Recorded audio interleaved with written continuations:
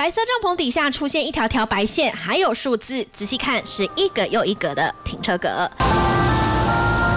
清水服务站六百平临时帐搭建在停车格上，细数车格，原本六百五十四格的服务区 L 跟 K 区停车格搭了四大白色帐篷，占了大约一百格左右，一辆车格只剩五百五十四格。人跟车少那么多的话，就一直在外面排队。像我们刚才在外面排不到十分钟了，只有这种像廉价的话，才会觉得停车格有点不够用。今年三月一号启动整修的清水服务区，已经是第三度大改造，对台湾人来说是个有鲨鱼的特别休息站。一、二、三。二零零六年，鲨鱼入驻服务区水族箱，各式各样热带鱼吸引大批游客带小孩来抢先看。两年后，因换手经营，站内的八只鲨鱼被运回屏东海生馆，变成灯塔夜明珠，成了当地热门的夜景景点。如今站体重新整修，民众更是倍感期待。呃，像我是台北的话，就会去桃园那个 X X Park 那边。对，所以很难得在休息站里面可以看到有一个很大水族箱在那里，原本里面有鲨鱼，但是它后来撤掉，然后就变